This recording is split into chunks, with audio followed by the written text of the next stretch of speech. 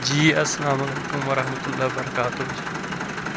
जी, ये हैं हमारे सीनियर एडमन जनाब वकास साहब हाफ़ चनियोट पहले तो इंडिया के ट्रैक्टर की बात करते हैं, वहाँ पर ट्रैक्टर मॉडिफाई होते हैं।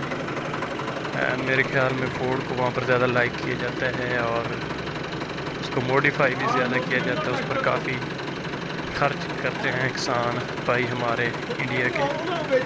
लेकिन हम उनको ये दिखाना चाहते हैं अपने इस चैनल के तवसत से और अपने फेसबुक पेज के तवसत से पाकिस्तान में भी फोर्ड ट्रैक्टर को स्पेशली मॉडिफाई किया जाता है और उसको फुल ओरिजिनल मॉडिफाई किया जाता है। ये नहीं होता कि उसमें कुछ डाल दी जाए।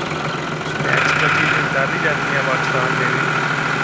लेकिन उसमें यही कोशिश की जाती है कि फुली ओरिजिनल ट्रैक्टर बनाया जाए हर चीज़ मेड इन इंग्लैंड लगाई जाए और ट्रैक्टर को अच्छी तरह बहुत ही प्यार से और नफासत से तैयार किया जाए। चलो इंडिया के बाद इंडिया के दोस्तों को भी अगर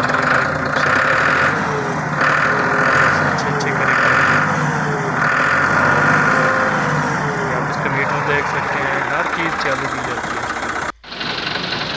तो ए टू जेड तैयार किया जाता है। ये हमारे प्यारे भाई विकास साहब हैं चिनौट से इन्होंने ये ट्रैक्टर तैयार किया है। बाकी माशाल्लाह इसको साउंड भी देख सकते हैं। आपको इसकी स्पीड वगैरह भी थोड़ी बहुत चेक कराने की ट्राई की जाएगी। इन ताला नेक्स्ट वीडियो में दोबारा मिलेंगे। आपका होस्ट बाटा, जिला चिन्होट